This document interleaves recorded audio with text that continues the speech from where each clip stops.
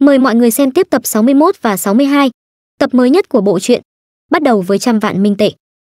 Bắt đầu câu chuyện, tên cai ngục đứng trước cửa nhà lao của Lâm Vũ và nói, mấy con heo kia, nhanh ngồi dậy đi. Lâm Vũ cũng nhanh chóng ngồi dậy, cậu liếc mắt qua nhìn những thông tin và luật của phòng giam. Cáo thị phòng giam, một là phục tùng quản lý, hai là không được lớn tiếng ồn ào, năm là giữ cho phòng giam được sạch sẽ, bốn là giữ cho giường ngủ được sạch sẽ, năm là không được đánh nhau. Lâm Vũ sau khi đọc xong liền thầm nghĩ, đây chắc là đang trong phó bản rồi, những quy định cơ bản cần phải tuân theo trong phòng giam. Men thờ ơ suy ngẫm, nhưng mà một nơi như nhà tù thế này, nhất định là sẽ có những quy tắc ngầm ngoài ước định kia, quỷ giới cũng tuyệt đối không ngoại lệ. Đám người tham gia vào trò chơi phó bản lần này cũng theo lệnh của giám ngục, từng người xuống giường. Lâm Vũ chăm chú quan sát một lượt, cậu liền đưa ra một kết luận, đây chỉ là một con phạm nhân ác quỷ mà thôi, lại có túi đeo không gian âm cụ bên hông. Mê nhìn sang hai anh chàng thanh niên phía bên cạnh và đưa ra giả thuyết, hai người này đều là người điều khiển quỷ, trông có vẻ hai người họ cũng không quen biết nhau. Con ác quỷ liền đứng hiên ngang nói, lần này thì ba tên con người bị nhốt chung một phòng giam sao, hiếm thấy thật. Con ác quỷ thở dài, đáng tiếc bọn con người còn nghèo hơn cả quỷ nghèo. Lâm Vũ tò mò liền cất tiếng hỏi, tại sao nghèo thì lại đáng tiếc? Con ác quỷ liền giải thích cho cậu nghe, bởi vì nếu người có tiền thì có thể giao dịch với ta, ta sẽ kiếm được nhiều tiền hơn. Nhưng theo những gì ta biết được, con người sinh tồn ở quỷ giới đã là một vấn đề rồi, chứ đừng nói đến minh tệ. Lâm Vũ mỉm cười thầm nghĩ, lẽ nào hắn ở trong nhà tù là kẻ có quan hệ với thế giới bên ngoài, đóng vai trò tương tự như doanh nhân. Vốn dĩ còn định nghĩ xem nên làm thế nào để tiếp xúc với con đường này, thật không ngờ lại đến mà không cần tốn chút sức, vận khí cũng được quá đấy nhỉ. mê liền cất tiếng hỏi con ác quỷ, chỗ của ngươi có thứ gì? Con ác quỷ liền đáp trong sự khinh thường, thuốc lá, rượu, giấy và một số món đồ khác, muốn gì cũng có, nhưng mà ngươi có tiền mua không? Men hiên ngang bước lên, anh nói, không phải vấn đề có tiền hay không, ta chỉ sợ đồ của ngươi không đủ để ta mua thôi. Sau câu nói đầy hùng hồn của Men anh liền lấy ra một tờ tiền một nghìn minh tệ. Anh nói, cho hộp thuốc lá đi. Lấy loại tốt nhất. Hành động của Men làm hai tên con người điều khiển quỷ phía sau há hốc miệng. Con ác quỷ thấy Mên lấy ra một tờ tiền có mệnh giá cao liền thay đổi thái độ.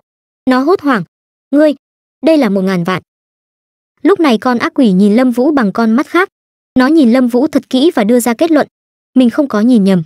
Không hề nhìn nhầm, tên con người điều khiển quỷ này thực lực tuyệt đối cao hơn ta ta lại xém chút mạo phạm với hắn rồi con ác quỷ liền thay đổi thái độ từ khinh thường sang kính trọng mên con ác quỷ lễ phép mời mên hộp thuốc lá này là hàng tốt nhất ở chỗ tôi một hộp 60 minh tệ ạ. Con ác quỷ liền ngại ngùng nói, đại ca, tiền thừa nhiều quá rồi, tôi chỉ kinh doanh nhỏ lẻ thôi, thực sự không có tiền thối. Hay là, số tiền này ngài cứ cất đi, sau này ngài có thể tiếp tục lấy đồ từ chỗ tôi. Đợi tích được kha khá tiền rồi, tôi sẽ lấy tiền. Ngài thấy thế nào? Lâm vũ cảm thấy như vậy cũng được, liền cất minh tệ lại. Cậu nói, được thôi. Hai tên điều khiển quỷ phía sau khá bất ngờ. Hai tên này thì thầm với nhau cái tên của nước đại hạ đó lại có nhiều tiền như vậy sao tên còn lại không tin vào mắt mình thốt lên sao lại thế được chứ anh chàng này không cam lòng anh ta nghĩ nếu như có thể cướp một ngàn minh tệ đó nhân vật phó bản lần này có lẽ sẽ trở nên đơn giản hơn rất nhiều. Anh chàng này liền mở miệng hỏi Lâm Vũ, "Này, tiền của ngươi từ đâu ra mà nhiều thế?" Men cũng chú ý hai anh chàng này cũng biết được, thì ra là người Hàn Quốc. Men cũng biết được là sau khi vào quỷ giới ngôn ngữ sẽ được tự động phiên dịch. Men liền đáp lại câu hỏi của tên kia. Anh nói, ngươi hỏi nhiều thế làm gì cũng không có đưa cho ngươi đâu. Anh chàng này hỏi không được liền khiêu khích Mên. Một tên rác rưởi còn không phải bậc một như ngươi dám nói thế với ta. Lâm Vũ mỉm cười, bậc một sao, sau khi bị khinh thường thì Mên cũng có chút không nhịn được. Lâm Vũ liền nhanh chóng quay người lại và tung một cước lên bờ má xinh xinh của anh ta. Một cước đầy uy lực này khiến tên vừa khinh thường mình bay thẳng vào tường. Con ác quỷ liền mỉm cười phía sau, đúng là sâu bọ, ngay cả thực lực của đối phương mạnh hay yếu còn không phán đoán ra được. Thì đừng có mà đi chọc giận người khác, tên này sao có thể sống được đến hiện tại vậy. Tên còn lại nhìn thấy tình hình không ổn, anh ta thầm nghĩ, người điều khiển quỷ của hạ quốc quả nhiên thích giấu nghề. Chẳng có một chút tinh thần võ sĩ não cả. Nhìn linh lực bạo phát trên người hắn chắc cũng ở trình độ bậc 3, bằng cấp bậc với mình không có gì đáng sợ. Anh ta đắc ý mỉm cười. Anh ta nghĩ nhưng hiện tại hắn đã gây chuyện trước với tên hàn quốc kia rồi muốn đối phó hắn thì mình chỉ cần xúi dục tên Hàn Quốc đó đánh kia tên kia, mình sẽ ngồi đây ngư ông đắc lợi. Vậy là anh chàng này liền đi đỡ anh chàng vừa bị Lâm Vũ đánh bay. Anh ta vừa đỡ lên vừa nói, tên Hạ Quốc này âm hiểm giảo hoạt, lại còn đánh lén, thực sự quá khốn nạn. Anh ta nói tiếp, hơn nữa, hắn có nhiều minh tệ như vậy, khiến con quỷ vật đó cũng cung kính hắn ba phần, không cướp minh tệ của hắn, chúng ta e rằng một bước khó tiến. Anh chàng bị ăn đòn liền đáp, vậy, hay là chúng ta liên thủ với nhau đi dạy dỗ hắn một trận.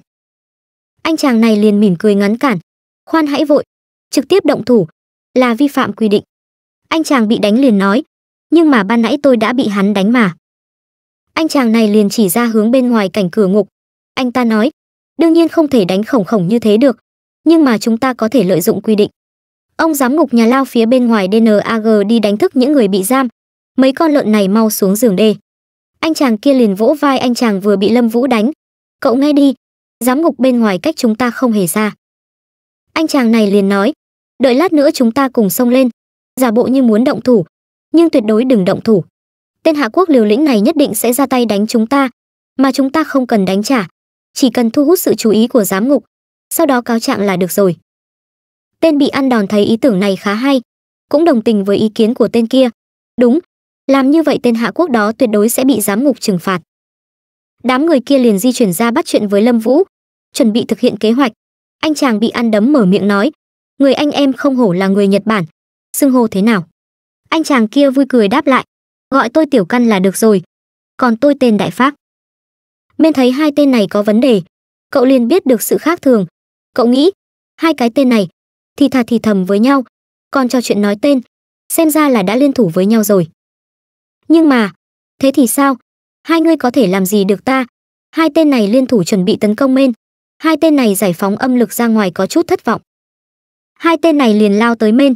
Tên kia nói, tên khốn nạn hạ quốc, tại sao lại đánh ta? Lâm Vũ liền dùng linh lực bạo phát để cản lại đòn đánh của bọn chúng. Hai tên kia giả vờ để bị đánh bay, hai tên này cố tình bị đánh bật ra xa và cố tình la lớn lên. Ông cai ngục để ý thấy âm thanh phát ra từ phòng giam của Lâm Vũ, giám ngục nhận ra sự khác thường, có lẽ là có việc làm rồi đây. Giám ngục nghe thấy tiếng động liền quay lại, giám ngục nói, mấy tên oán chủng các ngươi đang làm gì đây? Hai tên này liền giả vờ, hai tên này hô lớn, cứu mạng với trưởng quan đại nhân, hắn vi phạm quy định của phòng giam, hắn đánh chúng tôi đó.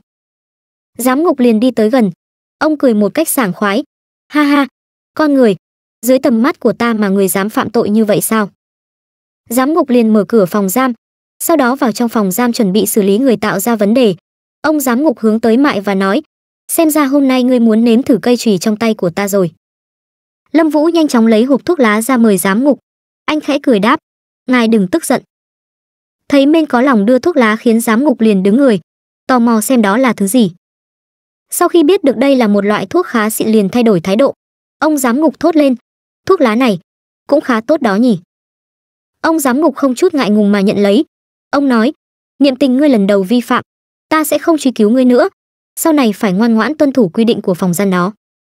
Trước khi rời đi ông giám ngục liền lườm hai tên người điều khiển kia và dặn dò, các ngươi cũng thế, đừng có mà gây chuyện cho ta. Sau khi thực hiện kế hoạch mà kết quả không như mong muốn, hai tên người điều khiển quỷ bất lực, hai tên này thốt lên, sao lại có thể? Giám ngục lại nhận hối lộ. Ông giám ngục mở gói thuốc lá ra thử, liền nhận ra bên trong còn có thứ gì đó hấp dẫn. Ông liền thấy bên trong còn có hai tờ minh tệ. Ông giám ngục thốt lên, đây là hai tờ trăm minh tệ.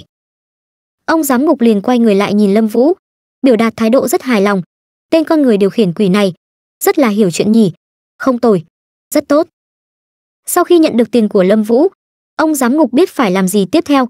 Ông giám ngục liền dùng một đôi mắt sát khí nhìn hai tên con người điều khiển quỷ. Hai tên kia thấy có chút khác thường, hai anh chàng này cũng rất tò mò. Ông giám ngục cầm thanh trùy trên tay dần dần đi tới hai tên người điều khiển quỷ kia. Ông cười một cách nham hiểm. Theo nhiệm vụ của Minh Tệ, ông dùng chiếc chùy sát đáng yêu đó massage cho hai anh chàng may mắn. Những tiếng massage vang vang thật vui tai. Đáp lại sự ân cần của giám ngục là những tiếng kêu tiếng hét của hai anh chàng kia. Cứu mạng với. Ông giám ngục liền tặng hai anh chàng tiểu căn và anh chàng đại pháp một chùy, anh chàng tiểu căn ăn một chùy vào đầu liền nằm xuống sàn nhà ôm đầu trong sự đau đớn. Anh chàng đại phát cũng không ngoại lệ, ăn một chùy của ông giám ngục, ôm đầu trong sự đau đớn và tức giận. Thấy oan quá anh chàng đại phát liền óc òa lên, miệng lẩm bẩm nói: "Ngươi." Ông giám ngục thấy vậy liền quát lớn: "Nhìn cái gì? Ánh mắt đó của ngươi khiến ta ghét vãi." Thấy bộ dạng không phục của anh chàng đại phát ông giám ngục liền tiến lại gần. Ông quát: "Nhìn bộ dạng không phục của hai người, nhất định là kẻ kiếm chuyện trước đúng không? Tuy ta không biết các ngươi vi phạm quy định nào, thôi thì ta cứ đánh trước rồi tính sau." Lâm Vũ thông minh tiến tới, anh liền dùng âm khí hóa thành lửa để cho ông giám ngục châm thuốc. Anh nói, trưởng quan bớt tức giận đi. Sau đó men lại gần châm thuốc cho giám ngục. Ông giám ngục cũng để cậu châm thuốc và không nói điều gì. Ông giám ngục vừa hút thuốc vừa nhìn Lâm Vũ và nghĩ, tên con người này, tiện tay là lấy ra 200 tệ, lẽ nào hắn có chống lưng ở trong đây sao? Vì ông giám ngục suy nghĩ nhiều quá nên tưởng là thật, ông liền thay đổi thái độ. Ông giám ngục quay người đi và khẽ cười nói, tiểu tử được đấy, ta họ Ngô, nếu sau này có chuyện gì cứ đến tìm ta. Sau khi nói xong ông giám ngục liền rời đi, Lâm Vũ thấy vậy liền đứng lại suy nghĩ, cậu tự nhủ, với 200 minh tệ đã có được hiệu quả thế này, xem ra khẩu vị của giám ngục cấp lệ quỷ không lớn. Nhưng mà chút tiền lẻ này, đối với tiến độ của nhiệm vụ tiêu phí lần này mà nói thì ít khủng khiếp. Men liền nhìn vào bảng thông tin của hệ thống đang hiển thị. Nhiệm vụ thứ năm, tiền chính là để tiêu mà, cứ điên cuồng tiêu phí đi. Nội dung nhiệm vụ, tích lũy tiêu phí 1000 vạn tệ, không được chủ động nâng giá. Tiến độ nhiệm vụ 600 vạn trên 1000 vạn. Men suy nghĩ tìm cách để có thể tiêu tiền. Anh nghĩ phải nhanh chóng tiếp xúc đến tầng cao hơn của nhà tù thì mới có cơ hội tiêu nhiều tiền hơn. Con ác quỷ ở phía sau nhìn Men và tự suy nghĩ, sao lại như thế này? Với một kẻ hiểu biết vật giá như ta, một bao thuộc còn con. Cùng lắm là khiến giám ngục miễn trách phạt hắn, nhưng mà hắn không những không bị trách phạt, giám ngục còn thay hắn xử lý hai tên kia. Lẽ nào tên con người này còn có người chống lưng trong nhà tù này sao? Sau một hồi suy nghĩ anh chàng ác quỷ liền kết luận. Đúng vậy, chỉ có nguyên nhân đó thôi, cho nên giám ngục mới ra mặt giúp hắn ta. Đột nhiên Lâm Vũ liền quay người lại hướng con ác quỷ. Anh đưa tay ra và mở lời hỏi. Lấy hết tất cả đồ chất lượng cao nhất của ngươi ra, và cho ta một cái giá đi. Câu nói và hành động của Minh làm con ác quỷ khá là bất ngờ. Con ác quỷ liền phán ứng lại. Anh chàng ác quỷ vui vẻ đáp. Không thành vấn đề đại ca, nhưng mà đồ ở chỗ tôi chỉ có chút ít thuốc lá thôi. Đại ca xin hãy đợi một lát, đợi lát nữa ra ngoài, tôi sẽ lập tức đi lấy cho đại ca. Men mỉm cười và hỏi, chút nữa ra ngoài sao? À chút nữa là sẽ đến thời gian hoạt động tự do sao? Con ác quỷ vui vẻ thân thiện đáp, không phải hoạt động tự do, giám ngục đến gọi chúng ta đây, là muốn chúng ta xếp hàng ra ngoài trước.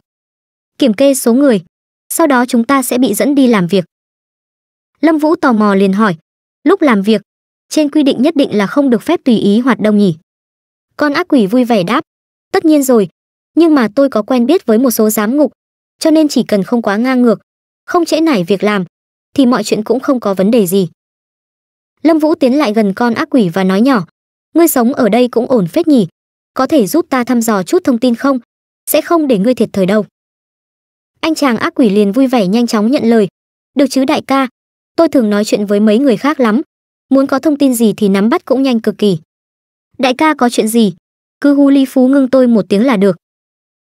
Lâm Vũ tiến lại gần, cậu khoác vai Lý Phú Ngưng và dặn dò. Men đưa ra hình ảnh của sáu người còn lại trong nhóm của mình cho anh ta xem. Men liền nói, được, Lý Phú Ngưng, đợi chút nữa ra ngoài, ngươi hỏi xem có mấy người giống thế này không. Sau một lúc quan sát anh chàng Lý Phú Ngưng cũng gật đầu đồng ý. Anh ta đáp, hiểu rồi đại ca, ba tên đàn ông tôi sẽ đi hỏi thử cho. Nhưng mà tầng nhốt phạm nhân nữ không phải ở đây, mà là trên cao nhất, nhất thời không thể tiếp xúc đến được. Sau đó bên liền thu hình ảnh của mọi người trong nhóm lại. Anh thầm cười và nghĩ, cái này nằm ngoài dữ liệu. Nếu như vậy, muốn tập hợp lại, chỉ có thể đợi đến lúc toàn thể mọi người hoạt động tự do thôi. Men lại tiếp tục hỏi anh chàng Lý Phú Ngưng về vấn đề phân chia công việc. Men nói, ngươi nói chút nữa phải đi làm việc, có biết chính xác cụ thể là làm gì không? Anh chàng Lý Phú Ngưng liền đáp, công việc không phức tạp, chỉ là làm chút công việc bưng bê nặng nhọc. Sau đó đến thời gian ăn uống tập thể. Sau khi ăn xong, lúc này mới chính là thời gian hoạt động tự do. Men và anh chàng ác quỷ Lý Phú Ngưng vừa trò chuyện xong, đột nhiên cánh cửa ngục liền mở ra. Phía bên dưới ông giám ngục cùng nhân viên của mình hô to, tất cả phạm nhân đi ra khỏi phòng giam. Anh chàng Lý Phú Ngưng đi trước dẫn đường. Anh ta nói, đại ca, chúng ta bây giờ hãy đi xếp hàng trước đi, đợi chút nữa giám ngục sẽ đếm số người. Sau lời thông báo của giám ngục tất cả mọi người trong ngục đều phải nghe theo, ai nấy đều phục tùng mệnh lệnh. ai nấy đều đi xuống dưới sảnh theo lời giám ngục. Men vừa đi vừa quan sát. Cậu thử dùng âm lực và nhận xét. Trong cửu trọng âm lao này có quy tắc áp chế linh lực. Là nhà tù ngoài tam trọng của vùng bên ngoài quỷ giới nhất định áp chế ở đây cùng lắm chỉ là có hiệu quả đối với mãnh quỷ. Men mỉm cười thật tươi. Cậu đắc ý vì năng lực hiện tại mà mình có. Cậu nghĩ nhưng đối với mình mà nói thì không phải vấn đề. Thực lực thật sự của trúc tướng hiện giờ không chỉ là mạnh quỷ. Sau một lúc tất cả mọi người trong ngục giam liền xếp hàng ngay ngắn. Ai nấy đều xếp hàng thẳng tắp. Giám ngục và nhân viên của mình bắt đầu đi kiểm tra, bắt đầu đếm số thứ tự, để kiểm tra xem có đủ số lượng hay không. Anh chàng lý phú ngưng liền nhắc nhở men, đại ca, nhìn bên đó kìa. Lâm vũ thấy vậy liền quay mặt sang nhìn, vẻ mặt ngây thơ như kiểu, có thứ gì hấp dẫn sao? Sau khi lâm vũ chú ý quan sát liền phát hiện ra hai người động đội ở một hàng phía xa. Men thốt lên trong sự im lặng. Là vấn thiên và hắc long. Kế bên còn có người điều khiển quỷ đến từ nước mỹ. Men chăm chú quan sát và đưa ra nhận định. Hạ quốc và nước mỹ từ trước đến nay luôn bất hòa. Trong phòng giam này nhất định là vô cùng nồng mùi thuốc súng. Trên mặt ba người đã có vết thương rồi. Men liền bước ra khỏi hàng của mình. Dưới quy định của phòng giam thì người khác sẽ sợ. Sẽ không dám. Còn men men không những không sợ mà giám ngục còn phải sợ men. Sau khi men bước ra khỏi hàng, cậu liền di chuyển tới chỗ hai anh bạn đồng đội vấn thiên và hắc long. Anh bước tới cũng khiến hai anh chàng đồng đội chú ý và kinh ngạc. Lâm vũ bước tới và giơ tay lên chào. Hai anh chàng liền nhận ra và vui mừng. Là phong đồ đại đế. Hai anh chàng đồng đội ngơ ngác nhìn nhau tự nhủ. Sao đại đế không đứng vào hàng, mà trực tiếp đi qua đây thế? Lẽ nào phong đô đại đế không sợ vi phạm quy định bị giám ngục trừng phạt sao? Lâm vũ đứng trước hai người đồng đội và nói, xem ra mọi người cũng ở chung một phòng giam với người điều khiển quỷ nước khác. Tuy thấy hai người có vết thương, nhưng mà tên điều khiển quỷ nước mỹ đó bị hai người đánh cũng khá thê thảm ha. Hai anh chàng nghe lâm vũ nói xong liền ngại ngùng. Anh chàng vấn thiên liền ấp úng nói, đại đế, tên người mỹ đó không phải bọn tôi đánh đâu. Mên tò mò, cậu liền hỏi, không phải hai người đánh, vậy vết thương trên mặt cậu ta là do ai làm? Hai anh chàng đồng đội liền kể lại câu chuyện trên người chúng tôi có vết thương, là vì tôi và hắc long đã đánh nhau. Anh chàng vấn thiên ngại ngùng nói, tên hắc long nhìn thấy tôi thì liền mắng tôi, nên tôi đã đấm anh ta một trận. Anh chàng vấn thiên kể lại, sau khi vào trong phó bản, chúng tôi được dịch chuyển chung một phòng. Vì không có tiếng nói chung nên tôi đã lao tới đấm hắc long, thế nên bọn tôi đấm qua đấm lại om sòm, con tên người mỹ đứng ở phía xa cười bọn tôi.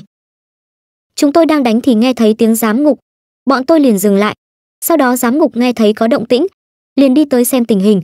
Tưởng là tên người mỹ đó đánh bọn tôi. Ông giám ngục đó tức giận liền tặng trùy cho anh chàng người mỹ cho nên giám ngục dạy dỗ tên người mỹ đó một trận.